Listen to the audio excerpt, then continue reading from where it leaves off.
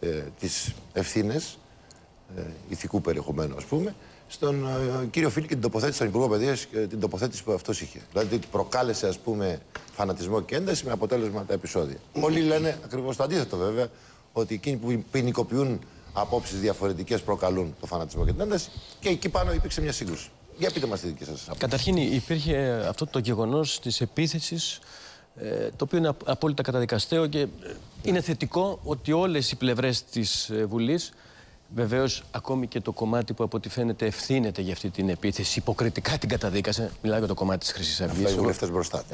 Εγώ είμαι απόλυτα ξεκάθαρος και μάλιστα η, εικόνα είναι απόλυτα ναι. ξεκάθαρη.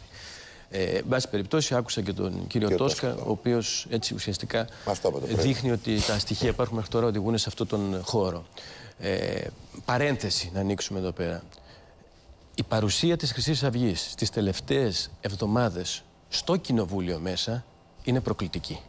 Οι άνθρωποι που είναι υπόδικοι για την δολοφονία του Φίσα, οι άνθρωποι που έχουν κατηγορηθεί για προστασία ε, της νύχτας, ε, μπάση περιπτώσει, οι σύγχρονοι εκφραστές του ναζισμού έχουν σηκώσει κεφάλι. Τώρα, ε, εδώ ερχόμαστε. Αυτό το κλείνει παρένθεση. Ότι αυξάνεται το τελευταίο διάστημα. Μιλάω, υπάρχει μιλάω, μια μιλάω για εντό του κοινοβουλίου. Ναι, για είδαμε και τα επεισόδια με το ΚΚΕ ναι. και με εσάς. Ακριβώς. Ακριβώς. Δηλαδή, ε, ε, πού, πού το εγώ θα έλεγα μάλιστα ο κόσμος να γυρίζει στο κανάλι της Βουλής. Ναι, δεν θέλω να πω τίποτα για το δικό σας. ε, για να βλέπει ο ίδιος τι ακριβώς συμβαίνει. Ε, πού το αποδίδεται όμως, κύριε Υπουργέ, γιατί το λέτε έτσι; Άρα σημαίνει ότι κάποιος σχεδιασμός υπάρχει από την πλευρά τους. Θεωρώ ότι υπάρχει μια προκλητικότητα ε, ενδεχομένως αυτό να σχετίζεται με το γεγονός ότι αντιλαμβάνονται ότι κάποιοι θα καταδικαστούν. Δεν ξέρω ποιοι. Ναι. Έτσι, για πρόσωπα. Έτσι, κάποιοι θα καταδικαστούν. ίσως να είναι μια τέτοιου είδους αντίδραση. Αλλά, εν πάση περιπτώσει, σε κάθε περίπτωση, εδώ πέρα είναι ένα σήμα προς τον υπόλοιπο πολιτικό κόσμο να έχει ένα αραγές μέτωπο απέναντι στον νεοφασισμό. Και εδώ ερχόμαστε ε, σε αυτά που ναι. λέγαμε χθες. Ναι.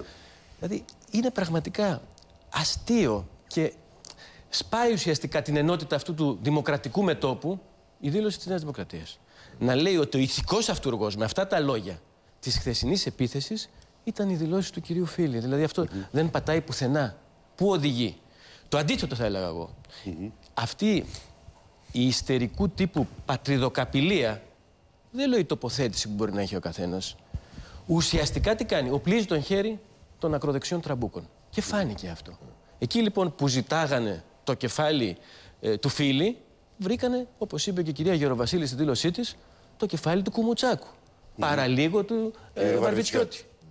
Εσείς πιστεύετε ότι η δήλωση Φίλη δεν έπαιξε κανένα ρόλο, όχι σε αυτό καθεαυτό το γεγονός, τώρα δεν πάμε να το πάμε εκεί, αλλά στο γενικότερο, στη γενικότερη άνοδο του εθνικισμού, του φασισμού, αν το θέλετε κτλ. Δεν έπαιξε ένα ρόλο προς αυτή την κατεύθυνση. Εγώ αυτό που είπα και μιλώντας προχθές σε ένα ραδιόφωνο, ότι η είδηση δεν ήταν αυτά τα οποία είπε ο Φίλης κάνοντας ξεκάθαρο, όχι με την ιδιότητα του, του Υπουργού και νομίζω ότι και η χθεσινή του τοποθέτηση ήταν απολύτως σαφής. Χθες ήταν πιο ξεκάθαρος.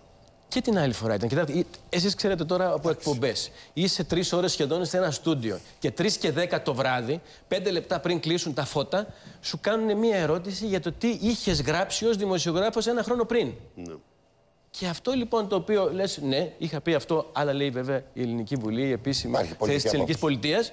Αυτό λοιπόν αρκεί για να δημιουργήσει όλη αυτή τη φασαρία; Όχι βέβαια. Mm -hmm. Απλώς το πρόκειται για μια ε, φτηνή θα έλεγα τελικά αντιπολιτευτική προσπάθεια. Πολιτική εκμετάλλευση. Πολιτική εκμετάλλευση με έντονα στοιχεία πατριδοκαπηλεία, τα οποία τελικά τι κάνουν, ενισχύουν τις ακροδεξιές φωνές, τις εθνικιστικές φωνές. Εντάξει, το, το, το αποτέλεσμα δεν έχετε άδικο, αλλά εγώ είδα ότι τον άδειασε και η ίδια η κυβέρνηση. Πέραν και δεν τον άδειασε. Και εγώ θα σας πω το ε, εξής. Έχω, έχω εδώ μπροστά μου, έχω εδώ μπροστά μου κάτι που ίσως δεν το έχετε προσέξει. Παρακαλώ.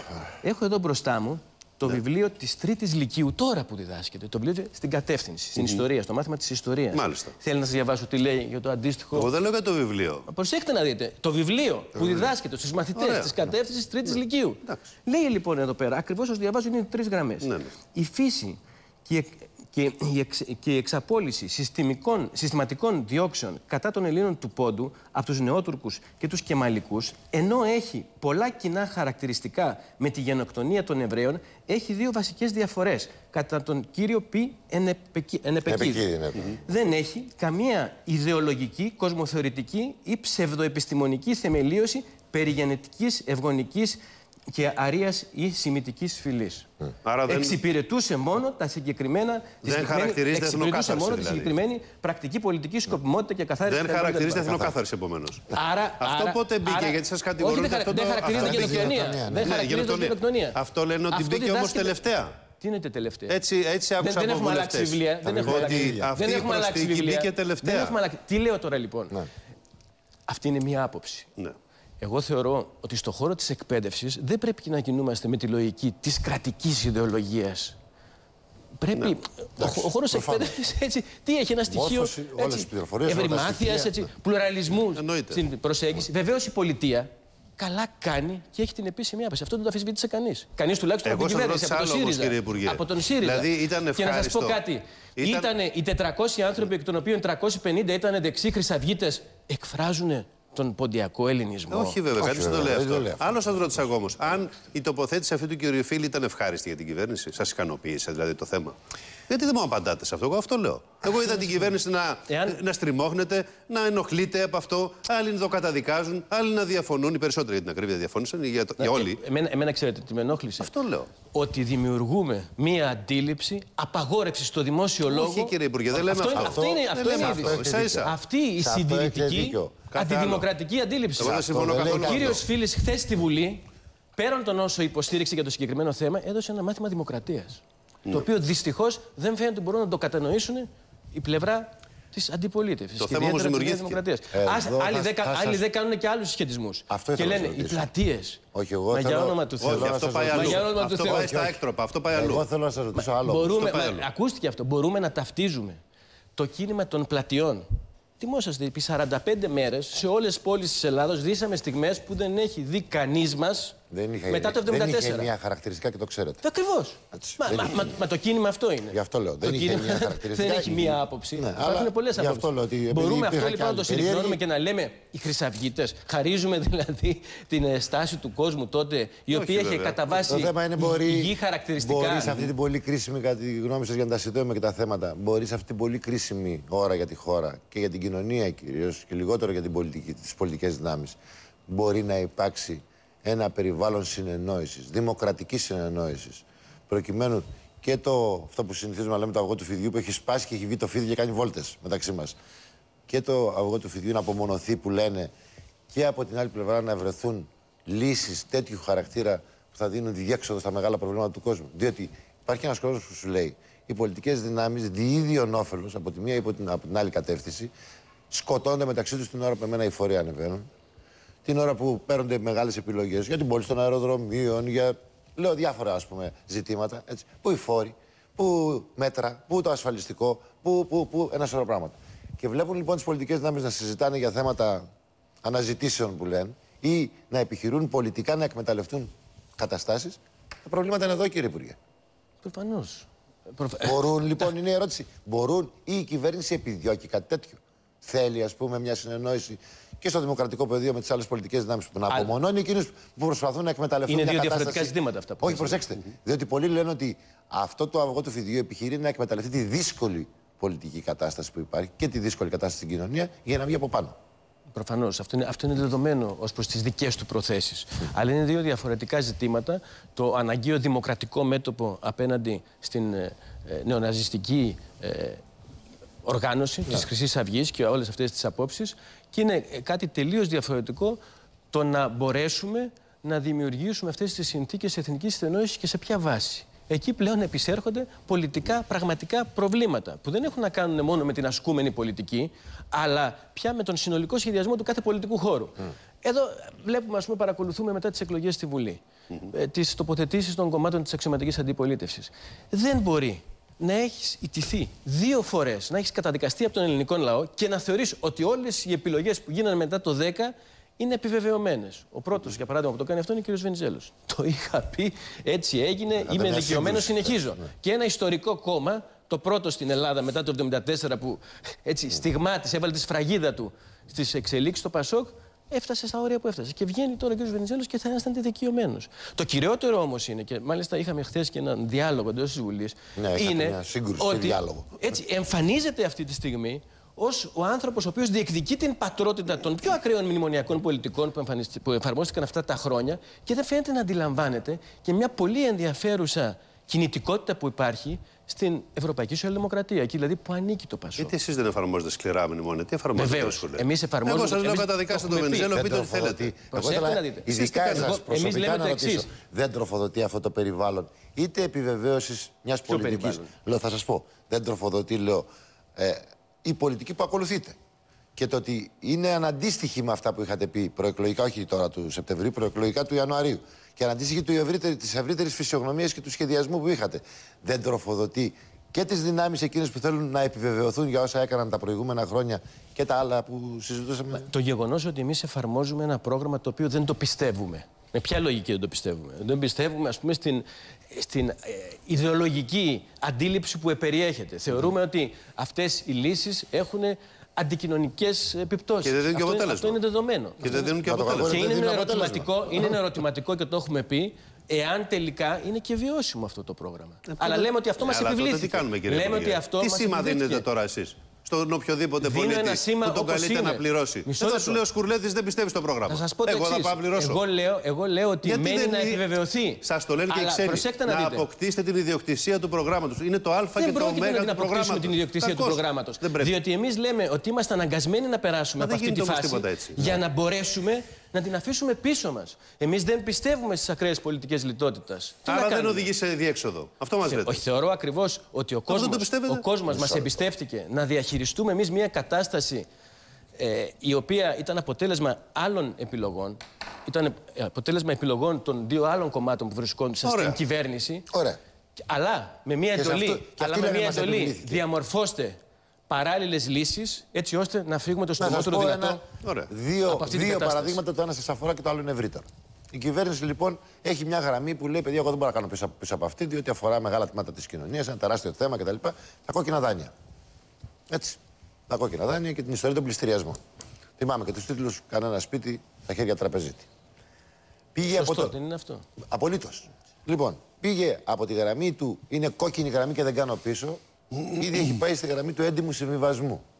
Και ακούω ότι στις συζητήσεις που γίνονται αυτή την ώρα με το κουαρτέτο, στην προσπάθεια να βρεθεί λύση, είναι έτοιμη να κάνει και ένα βήμα πίσω, ας πούμε, για να βρεθεί μια συνεννόηση σε σχέση με τα ποσά που θα καλύπτονται κτλ. Περιμένω να δω το αποτέλεσμα. Λέω όμως, εάν τεθεί ένα ζήτημα από την πλευρά των εταίρων που λέει, παιδιά, κοιτάξτε να δείτε, ή θα συμφωνήσετε με την άποψή μας, ή λεφτά δεν παίρνετε. Ούτε για τις τράπεζες, ούτε τα 2 δισεκατομμύρια προς την κοινωνία, ούτε τίποτα.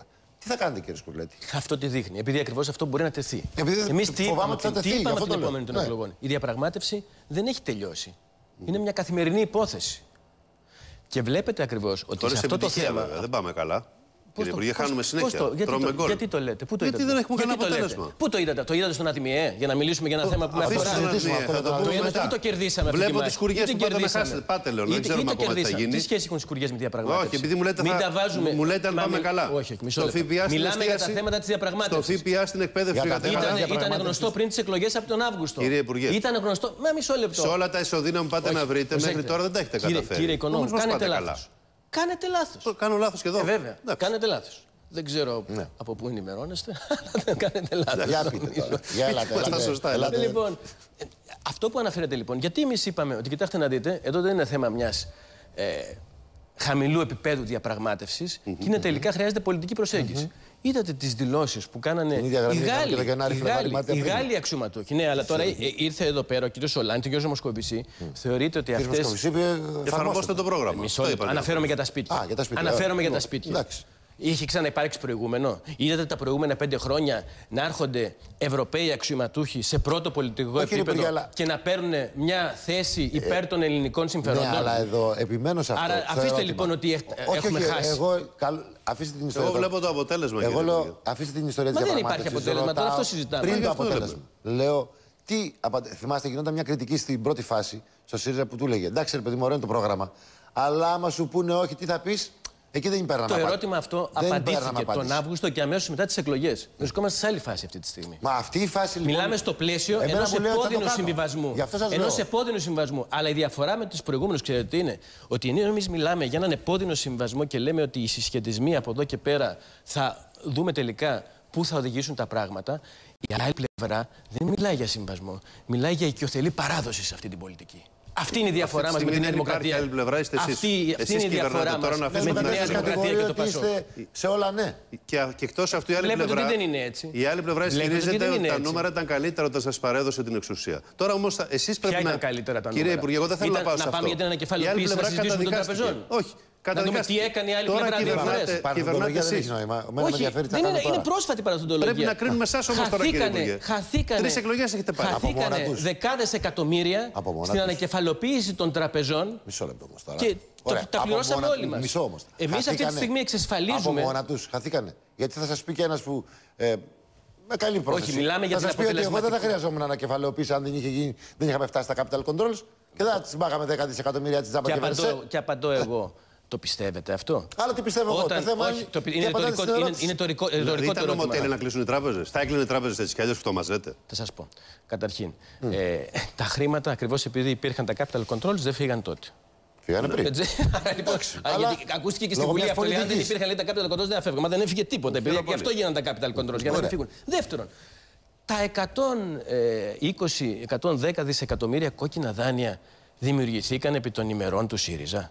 Δεν είναι το αποτύπωμα των πολιτικών δανείων των δύο προηγούμενων κομμάτων όταν επί δεκαετίες τα δίνανε χωρίς όρια, όρους και προϋποθέσεις στους συμμέτερους. Τώρα αυτό θέλει να Στους κρίνουμε. συμμέτερους. Πάμε και στο 1821 να Τώρα, βρούμε. παιδιά, άκρη. αυτή είναι- Μιλάμε για αυτή η σήμερα τι συζήτηση είναι τα κάνουμε. κόκκινα δάνεια. Δεν κατάλαβα. Δεν είναι αυτό το Αυτή- θέμα. αυτά- Αυτό Αυτό είναι. όμως είναι τα κόκκινα δάνεια. Στους δα- Λάθος, στους δανειστές δεν τα αυτό ξέρετε, δεν τα λέμε. ξέρετε τα Όχι, τα στοιχεία. ξέρω τα Δεν στοιχεία, τα πολύ ξέρετε. καλά τα ξέρω τα Όταν στοιχεία. μιλάμε για κόκκινα δάνεια, μιλάμε για στεγαστικά, Και επιχειρηματικά. μιλάμε, μιλάμε για κάποια καταναλωτικά Και τα επιχειρηματικά. και τα επιχειρηματικά. Το μεγάλο κομμάτι είναι τα επιχειρηματικά. Ένα μεγάλο Δύο κομμάτι φορές είναι τα λοιπόν επιχειρηματικά. ανακεφαλοποίησης πιάσαμε αυτό το πρόβλημα. Μπήκαμε στο πυρήνα που υπονόμευε τελικά τη φερεγγιότητα των τραπεζών. Όχι. Αν δεν έχουμε Όχι. λύση, τι θα Αν κάνετε, είναι- κύριε Γιατί, Υπουργέ; γιατί Κύριε Υπουργέ, για να έτσι. χαϊδέψουμε και Ναι, να τώρα- καλύψουμε τις διοικήσεις των τραπεζών. Μπορούμε που να ήταν, μιλάμε μισό συγκεκριμένα. λεπτό είναι κρίσιμο αυτό. Που ήταν ένα, ε, ε, η μία ας πούμε ε, άκρη του τρίγωνου της αμαρτίας, Ωραία. του τριγώνου της διαπλοκής.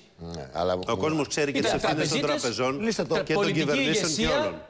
Και οι Τι ιδιοκτήτε θα μέσω κάνετε, μαζικής τι θα ενημέρωσης κάνετε; Λύστε το. εάν μεγάλα σας πούν, κατασκευαστές. λύστε το. εάν σας πούν όχι δανειστές, τι Αυτό θα κάνετε, κάνουμε, κύριε αυτό Υπουργέ. κάνουμε. Όχι, Τι θα θα σας πω τι κάνετε. δεν κάνετε. Έχουν μπει οι προποθέσει Θα για να πάτε για λυθεί. πολιτική διαπραγμάτευση. Αν σας Πες πούν μου όχι τώρα. δανειστέ τώρα στη λύση που προτείνετε. Για ποιο θέμα απ' όλα; Για τα κόκκινα δάνεια. κόκκινα δάνεια. Έχουμε είναι το πάει, μείζον έχουμε θέμα πάει αυτή σε τη πολιτική διαπραγμάτευση. Έχουμε πάει. Μπαίνει στο ανώτερο. Αν δεν υψηλό κλείσει το επίπεδο. θέμα μέχρι τη Δευτέρα, τι θα γίνει στο Eurogroup; Θα το πάτε εκεί το Θεωρώ θέμα; ότι θα κλείσει θετικά. Θα Θεωρώ κλείσει, ότι πιστεύετε, μέχρι τη θετικά. Δευτέρα; Ότι δεν ξέρω αν θα κλείσει τη Δευτέρα. Λέω η έκβαση θα είναι θετική. Να σας για αυτό ρωτήσω το λοιπόν θέμα. τώρα και κάτι που προκάλεσε εντύπωση χθες. Γιατί μπήκε στο, στο αρχείο ο φάκελος για τον δανεισμό των κομμάτων Πασόκ Νέας Διότι είναι νόμος του 13. Είχαν, είχαν φροντίσει να σβήσουν τα ίχνη τους. Δεν μπορείτε να το αναιρέσετε αυτό. Για, Κυβέρνηση για, να, είστε. για, να, για, να το Δεν λέει, έχετε τη δύναμη για να το λέει, για να αλλάξετε το ένα λέει, νόμο. για να το λέει ο, ο αρμόδιος Υπουργός ε, Δικαιοσύνης, προφανώς κάτι ξέρει. Προφανώς κάτι ξέρει. Για να περάσουμε στα δικά σας. Μάλιστα. Λιγάκι. Λοιπόν, να δούμε να τώρα. μιλήσουμε λίγο για τις κουριές, κύριε Υπουργέ. Έχει γίνει μια Μιλάτε παράνομη. για, τα- για τα δάνεια προς το Πασό και τη Νέα Δημοκρατία Ναι, την ναι. Αγροτική Α, Τράπεζα. την Αγροτική Έτσι. Τράπεζα, ναι. Και σας λέω με νόμο του 13 είχαν φροντίσει να οδηγηθούμε σε αυτήν την de Να facto καλύψει το κατάσταση. ίχνη. Ακριβώς. Πάμε στο θέμα σας. Τώρα, προχθές είχαμε κάποιες πληροφορίες από το Συμβούλιο της Επικρατείας, το οποίο φαίνεται να σας αδειάζει για το θέμα των σκουριών και Δεν είναι ζητάει. έτσι. Πληροφορίες, είπα. Δεν είπα Μισό λεπτό, απόφαση. Μισό λεπτό. κύριε, Μισό λεπτό κύριε. Δεν μίλησα για απόφαση, Τώρα, τώρα περιμένουμε κάνετε την ένα απόφαση. δημοσιογραφικό λίστημα. Πάλι ο λίστημα Προσωπικά κάνω. εσείς. Ναι, για τώρα. λίστημα τα Προσέξτε κάνω. να δείτε. Εντάξει. Προσέξτε να δείτε. Ελάτε. Ξαφνικά μέσα σε δύο ώρες βγαίνει να αρχίσω να λέω τίτλους εφημερίδων ή να τα αφήσουμε. Δεν θέλετε. Πείτε ό,τι θέλετε. Δεν μας Ό,τι πειράζει. θέλετε πείτε. Βγαίνει το πρώτο Δεν θέμα, απολογούμαστε βγαίνει για μετά κανέναν. νέα, βγαίνει ο Sky, βγαίνει το Μέγκα και λένε άδειασμα τους Σκουρλέτη. Σκουρλέτη από το ΣΤΕ. Ναι, ναι. Και μέσα σε δύο ώρες βγαίνει ο ίδιος ο πρόεδρος του Συμβούλιου της Το Επικρατείας διαψεύδει. Το είπαμε. Αυτό και είπα. λέει, και λέει Γιατί πέφτω σε όλη δεν έχουμε ολοκληρώσει την διαδικασία. Διαψεύδω τα δημοσιεύματα. Επίκυνται άλλες δύο συσκέψεις για αυτό το θέμα. Πρόσεξε. Ωραία. Δεν είναι ότι απλώς υπάρχουν πληροφορίες και πάει να καθαρογραφεί. Δεν έχει ολοκληρωθεί η διαδικασία της διαβούλευσης. Ωραία. Εάν, λοιπόν, Όταν το απόφαση... θέμα έρχεται στη Βουλή και τους το διαβάζω στους συναδέλφους, μου λένε Μα καλά, διαψεύδετε τα νέα. Ποιος είστε εσείς. Λέω εγώ τα διαψεύδω. Εντάξει. Ή ο πρόεδρος τους ΣΤΕ. Μα το είπαμε και κι εμείς. επαναλαμβάνω, μπορούν τα πολιτικά πρόσωπα ή και οι δημοσιογράφοι, γιατί και εσείς έχετε εξουσία. Τι να κάνουμε, είστε η τέταρτη εξουσία. Είτε, είτε το Δεν σ' άρεσε καταλαβαίνετε αυτό, αλλά είτε δεν όχι. πειράζει. Εντάξει. Όχι, αυτό είναι στοιχείο της πια δημοκρατίας. όχι. Το θέμα είναι πώς την ασκεί ο καθένας την Ναι, ναι, εξουσία. του. Σωστό είναι αυτό που λέτε. Για το πώς Έρχονται θα λοιπόν ασκεί τώρα. έχει σημασία, βέβαια. έρχονται λοιπόν οι δημοσιογράφοι και θάβουν αυτή τη διάψευση. Πιάστε λοιπόν και δείτε πώς παρουσιάστηκαν οι φήμες και πώς παρουσιάστηκε η αλήθεια. Πώς τι θα Όλοι το είπαμε. Μα κύριε δέστε Υπουργέ. το. Όχι. Το είπαμε. Θάβετε όχι. τώρα όταν σας Θα- γίνεται η σχετική ερώτηση, όχι. Πώς είπατε, Θάβετε τώρα η είδηση όταν στον Υπουργό γίνεται η Όταν αντίστοιχη λέω ερώτηση. θάβετε, Ναι, εννοώ με άλφα γιώτα, δεν δημοσιογραφικός Εννοείται, κόσμος. εννοείται. Λέω Εντάξει, όμως οκ, ότι εντάξει. ταυτόχρονα, ας πούμε, και από την ε, κυβερνητική πλευρά, πολλές φορές είναι αυτό που λένε, λέγονται πράγματα που στην πραγματικότητα δεν έχουν βάση με αυτό που γίνεται κτλ. Θέλω όμως ιδιαίτερα. Τώρα μας μιλάμε για το συγκεκριμένο. Ναι, θέλω όμως ιδιαίτερα. να Άρα, μπούμε άρα σε- τι γίνεται, μήπως προσπαθούμε να προκαταλάβουμε τι Που απόψεις τους καταλάβει τι ΣΤΕ. μπορεί να αποφασίσει κανείς πριν από το Η δικαιοσύνη αντίστοιχο δεν θεσμό. αποφασίζει. κύριε Όταν Ζηγέ. βγαίνουν Κύριε πολιτικά Υπουργέ. πρόσωπα και λένε ότι αυτό θα γίνει κτλ. Τι να κάνουμε, είναι μια Έχετε πίεση. μετανιώσει να σας ρωτήσω, Είναι μια επί μορφή του πίεσης. πολιτικού, αφήστε τα Άνθρωποι δι- είναι και αφήστε τα δικαστές. δικαστήρια. Επί του πολιτικού. Έχετε μετανιώσει που πήρατε μια απόφαση. Για που ποιο προσκάλεσε- που- Για την ιστορία των σκουριών το λέω. Εγώ, Έχω εγώ μετανιώσει ειλικρινά γιατί; περιμένω τη δικαιοσύνη, δεν θέλω να εμπλακούμε. Λέω εσείς ως πολιτικό πρόσωπο. Και ένα πολιτικό πρόσωπο της αριστεράς. Μετανιώνετε που μια, με μια δικιά σας πολιτική απόφαση, δική σας πολιτική απόφαση, μπήκε μια ομάδα ανθρώπων ας πούμε, σε ταλαιπωρία. Εγώ θα το πάω και αυτή την επιχείρηση. Προσέχτε να Η δείτε. επιχείρηση πρέπει να δώσει στην δικαιοσύνη τα χαρτιά που χρειάζονται. Λέω για τους ανθρώπους οι οποίοι εργάζονται. Μιλάμε για μια μεγάλη επένδυση στην περιοχή της Χαλκιδικής. Οι εργαζόμενοι δεν ήταν 2.000, δεν ήταν 2.500, δεν ήταν 5.000. Αυτά ήταν τα νούμερα που κυκλοφορούσαν. Ήταν 860 με βάση την προσφυγή των ίδιων. Μάλιστα. Δεν είναι μικρό το νούμερο. Αλλά το θέμα είναι το εξής. Αυτή η επένδυση αντιστρατεύεται άλλες θέσεις εργασίας στην περιοχή, πρώτα απ' όλα. Ερώτημα, πρέπει να απαντηθεί. Δεύτερον, αυτή η επένδυση είναι επιβλαβής για το περιβάλλον. Τρίτον, Όχι, αυτή η λένε οι επένδυση. αποφάσεις. Έχουν βγει αποφάσεις που Δεν λένε έχουν, όχι. βγει- δεν έχουν βγει τι αποφάσεις. Εσείς λέτε ότι είναι. Δεν έχουν βγει. Εσείς θα λέτε σας ότι πω, θα είναι. σας πω, θα σας πω, μισό λεπτό. Με ρωτάτε. Και Όχι, να μας πείτε. Ε, μα Γιατί αυτό- άμα κάνετε ένα ερώτημα, σημαίνει ότι Αυτή η κάτι ξέρετε. επένδυση- Υπουργός είστε. Αυτή η επένδυση, αυτή η επένδυση, ο τρόπος που υλοποιείται είναι συμβατή με τις υποχρεώσεις της εταιρείας. Εσείς Η τι εταιρεία. ε, Εγώ γι' αυτό προσέφηκα, για το τρίτο. Για το τρίτο. Προσέφηκα. Γιατί για τα άλλα δύο υπάρχουν Για απόψεις. το αν έχει συμμορφωθεί με Γιατί τις, αν, ε, έχει- προ- αν έχει με- την υποχρέωση με τις, να κάνει ε, την εφαρμογή αυτού ακριβώς, του με τις τρόπου ρυθμίσεις. μεταλλουργίας στην επιτόπια. Μάλιστα. Σε αυτό πάνω. Αυτό θα κρίνει το ΣΤΕ. Από εκεί και πέρα. Προσέξτε να δείτε. Βγήκαν στη δημοσιότητα ενέτη 15 πορίσματα ελέγχων, των επιθεωρητών ελέγχων περιβάλλοντος που είχαν γίνει το, δε- το 12 και το 13. Και βγήκανε τώρα. Χρειάστηκε λοιπόν σημαίνει να πάει ο αυτό; Σκουρλέτης να γίνει υπουργός περιβάλλοντος για να απελευθερωθούν οι υπηρεσίες και να μας πούνε τι παραβάσεις και υπάρχουν. Είναι, είναι Δηλαδή, λέτε ζητήματα ότι υπήρχε μια παραβάσεων συγκάλυψη. περιβαλλοντικών. Βεβαίως. Υπήρχε μια συγκάλυψη Υπήρχε μια πολιτική. συγκάλυψη. Ναι, και το είπα και χθες στη Βουλή στου προκατόχους μου. Εάν Ακριβώς. όμως το Συμβούλιο Γι' αυτά, τώρα. γι' αυτά λοιπόν τα. γι' Εάν αυτά- έρθει και σα αδειάσει το Συμβούλιο, θα είναι Δεν ήττα για εξετα- εσά. δεν- όχι, είναι άλλο Θα θέμα. είναι ήττα για εσά. Ρωτάω. Δεν, ε, επαναλαμβάνω. Θα ζητήσετε αυτά συγγνώμη, που- γιατί αυτά αυτό που λένε αναφέρομαι- μερικοί. Θα ζητήσετε, αυτά λέει, που συγγνώμη από τους αναφέρομαι- εργαζόμενους που έμειναν Αυτά άνεργοι. που αναφέρομαι. Έτσι δεν, λένε. μπορείς, δεν μπορείς να ζητάς συγγνώμη όταν υπερασπίζεσαι το δημόσιο συμφέρον, το περιβάλλον και τους νόμους. Και γι' αυτό είναι τα δικαστήρια για να μας πούνε αν, αν κάνουμε λάθος. Για πάμε τώρα. Αυτό Δεν λέω. λέω. δικαστήριο. Αν κάνετε λάθος, θα το παραδεχτείτε. Εγώ λέω λοιπόν ότι οι Θα αποφάσεις πείτε τους ότι ΣΤΕ, έκανα λάθος. οι αποφάσεις τους ΣΤΕ επί του συγκεκριμένου είναι απόλυτα σεβαστές. Μάλιστα. Απόλυτα σεβαστές. Καλά, αυτό έλειπε, εντάξει. Αλλά από εκεί και πέρα σας επαναλαμβάνω ότι υπάρχουν πορίσματα που αφορούν την παραβίαση της περιβαλλοντικής νομοθεσίας από το 12, τα είχαν κρυφά. Ήδη αυτά έχουν πάει στον εισαγγελέα Μάλιστα. Ωραία. και θα υπάρξουν και τα αντίστοιχα Ελάτε κύριε πρόστιμα. Υπουργέ να δούμε Περιμένουμε. ένα θέμα, τώρα, Επομένως, είμαστε ένα, αναμονή. ένα θέμα δικό σας που θέλω να μου πείτε και τα στοιχεία λίγο για να ξεκαθαρίσει. Η κυβέρνηση, μιλάω για τον ΑΔΜΙΕ, έτσι, είναι στα πλαίσια της διαπραγμάτευσης. Η κυβέρνηση έχει ισοδύναμο που να καλύπτει και για ποιο ποσό μιλάμε. Ναι. Διότι η υποχρέωση είναι, θα βρεις υποχρέωση. Το περιβάλλον είναι βρίσκεις ισοδύναμο, εντάξει ΑΔΜΙΕ. Δεν βρίσκεις ισοδύναμο, πουλάς ΑΔΜΙΕ. Όχι, δεν είναι έτσι. Ε, πώς; εδώ, εδώ στη συμφωνία, όχι θα σας πω γιατί Για- το λέω, δεν είναι έτσι. Στη συμφωνία η αναφορά στο ισοδύναμο δεν αντιστοιχούσε σε ένα χρηματικό ποσό. Δηλαδή δεν μας είπανε πουλήστε τον ΑΔΜΙΕ για τόσο ποσό, ε, εξασφαλίστε αυτά τα χρήματα, αν δεν το κάνετε βρείτε τα από άλλη πηγή. Το ισοδύναμο αφορούσε τον τρόπο λειτουργίας της αγοράς ενέργειας. Τι είναι ο ΑΔΜΙΕ, ο διαχειριστής των δικτύων υψηλής τάσης. Είναι αυτός που κάνει παιχνίδι στην αγορά. Λέει λοιπόν αυτή τη στιγμή η πλευρά των δανειστών και έχει μια βάση αυτό που λέει, ότι κοιτάξτε να δείτε, δεν μπορείς να είσαι θηγατρική της ΔΕΗ, ο οποίος είναι ο βασικός παίκτης στην βασικός αγορά ενέργειας και να έχεις ε, να παίζεις αντικειμενικά το ρόλο σου ναι. να διαχειρίζει τα δίκτυα έναντι άλλων ιδιωτών παραγωγών ηλεκτρικής ενέργειας. Άρα πρέπει να διαχωριστεί.